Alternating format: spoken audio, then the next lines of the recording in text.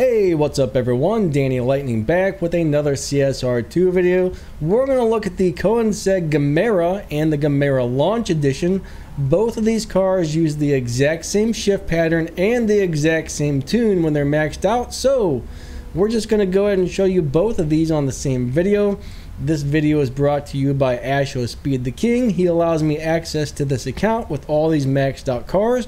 You can find a link to his YouTube, in this video's description. So, we're going to show you how to drive it, we're going to show you how to tune it, and then I'm going to do a quick review and give you my thoughts on the car at the end. And here's the regular one. It looks like the regular one has a record time of 6.953 and the launch has a record time of 6.905 okay? 6.905 those are the times these cars are capable of running. So let's go look at the tune really quick. All right so the Gemera and the launch both of them you're going to move the nitrous all the way over to the left if your car is maxed out. They're both going to have a 2.0 on the final drive and they're both going to be down to 8 psi on the tires so let's do a couple test runs and see if we can hit that record time or not now this car only has two gears. What we're going to do is let go of the gas exactly at number one. The needle is going to drop down to zero RPM. You're going to hit your nitrous and then just do a shift into second right before the red line and that's it. That's all there is to it. Super easy to drive as long as you get that kickback start, okay? We'll do one run on each one of these cars. So get ready. Here comes the first run on this guy. Three, two, one, let go. Nitrous. Second gear, right on the perfect shift there, right before red line. And let's see what time we ran. Let's see what we got. What did we get? What did we get? There we got a 6.960, which is very, very close to the world record time, okay? 6.960. That was a very, very good run. Now, let's go check out the Gemera launch. Okay, so let's get a nice test run on in on this one and see if we can hit that record time.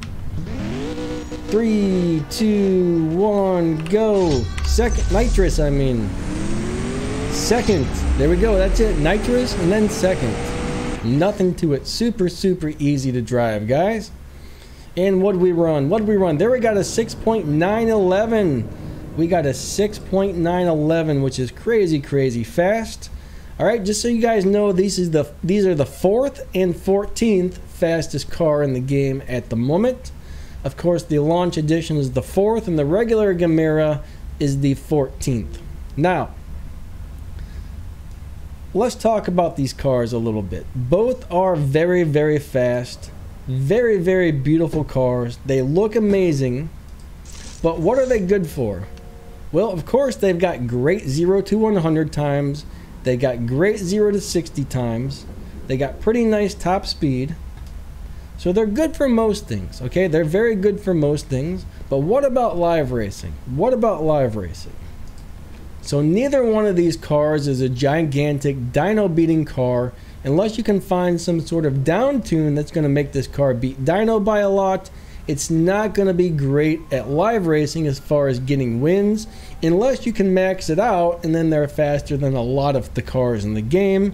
But then you're going to be in the lobby with the very very fastest cars basically i would say this is a great car for swapping with another player where you trade wins you win one lose one win one lose one that's a great easy way to get fast respect points in this game that's the only thing I would really do with this car as far as live racing goes.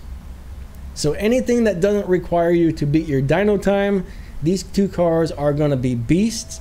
But unfortunately, if you're if you're required to beat your dyno time, you are going to have a very very hard time winning live races or beating the dyno. Now these cars do look super amazing.